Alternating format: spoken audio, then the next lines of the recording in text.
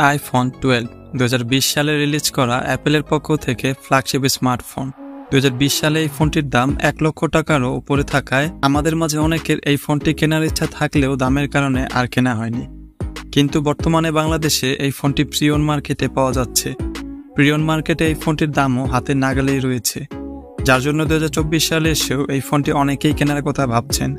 বর্তমানে এই ফোনটি প্রিয়ন মার্কেট থেকে আটত্রিশ চল্লিশ হাজার টাকার ভিতরেই কিনতে পারবেন। আইফোন টুয়েলভ আইফোনের পক্ষ থেকে প্রথম ফাইভ জি স্মার্টফোন ছিল।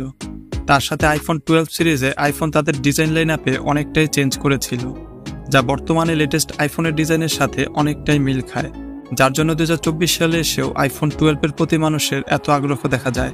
আজকের ভিডিওতে কথা বলব আইফোন টুয়েলভ দু হাজার চব্বিশ সালে কেনা ঠিক হবে কি হবে না তা নিয়ে। তো চলুন আর দেরি না করে ভিডিও শুরু করা যাক। প্রথমেই কথা বলা যাক ফোনটির ডিজাইন এবং বিল কোয়ালিটি নিয়ে।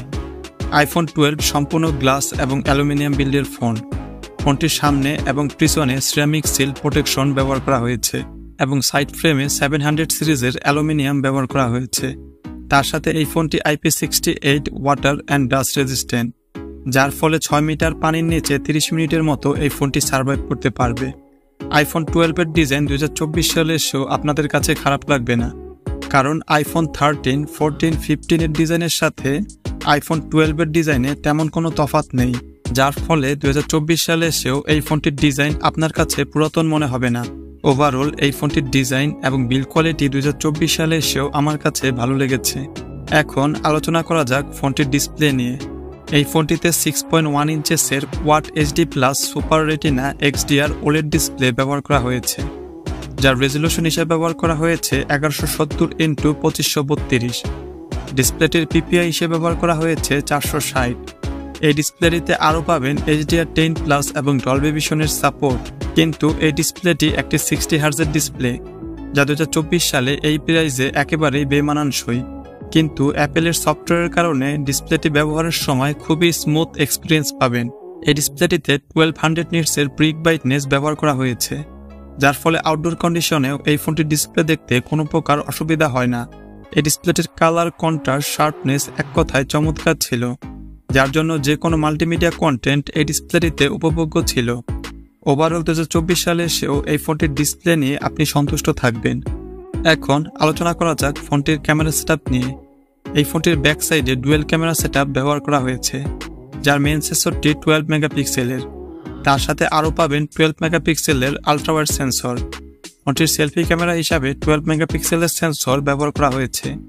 দু হাজার চব্বিশ সালের এই পর্যায়ে এসেও বাজেট অনুযায়ী এই ফোনটির ক্যামেরা কোয়ালিটি আমার কাছে ভালো লেগেছে। যে কোনো লাইটিং কন্ডিশনে এই ফোনটি দিয়ে ভালো ছবি তোলা যাচ্ছিল। তার সাথে প্রতিটা ছবির ডাইনামিক রেঞ্জ এবং ডিটেলস বাজেট অনুযায়ী যথেষ্ট ভালো ছিল। এই ফোনটির আলট্রাওয়াইড সেন্সরের ছবিগুলো আমার কাছে ভালো লেগেছে।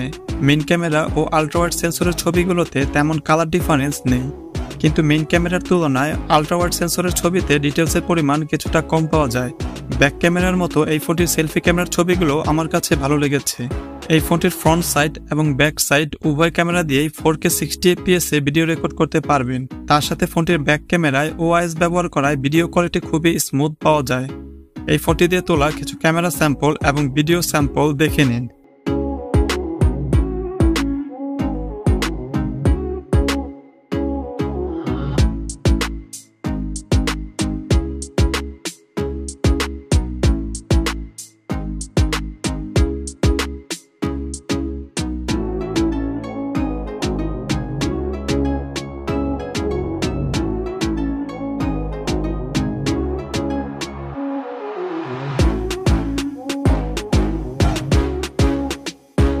এখন আলোচনা করা যাক ফোনটির হার্ডওয়্যার নিয়ে।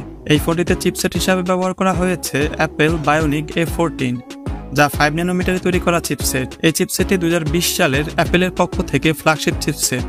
দু সালে এসেও এই চিপসেটের পারফরমেন্স খুবই ভালো পাওয়া যায়। তার সাথে এখনকার হাই গ্রাফিক্সের গেম পাবজি কল অফ ডিউটির মতো গেমগুলো ল্যাক ফ্রি খেলতে পারবেন। এই চিপসেটটির পারফরমেন্স বর্তমানের যে কোনো মিড বাজেটের ফোনের পারফরমেন্সের তুলনায় ভালো পাবেন। ওভারঅল যারা দু হাজার চব্বিশ সালে এই ফোনটি কেনার কথা চিন্তা করছেন, তারা এই ফোনটির পারফরমেন্স নিয়ে নিঃসন্দেহে সন্তুষ্ট থাকবেন। এখন আলোচনা করা যাক ফোনটির ব্যাটারি নিয়ে। এই ফোনটিতে আঠাইশশো পনেরো এইচের ব্যাটারি ব্যবহার করা হয়েছে এবং এই ব্যাটারিটি চার্জ দেওয়ার জন্য এই ফোনটিতে টুয়েলভ ওয়াট চার্জিংয়ের সাপোর্ট দেওয়া হয়েছে, যা দিয়ে এই ফোনটি চার্জ করতে দেড় ঘণ্টার মতো লেগে যায়।